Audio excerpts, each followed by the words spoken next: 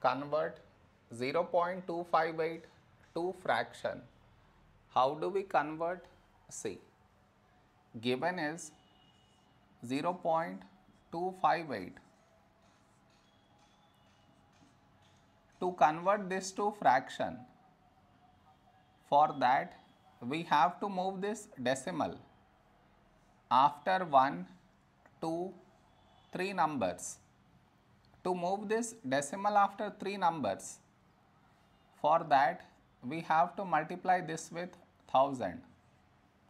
Whatever number you are multiplying in the numerator, in the denominator also do the same.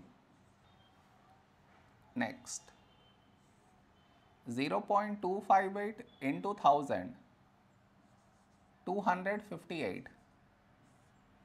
1 into 1000, 1000. Now I cancel with 2. 2 ones, 2 twos, 2 nines, 2 fives, these zeros as it is down. Further cannot be simplified. So our fraction is 129 by 500.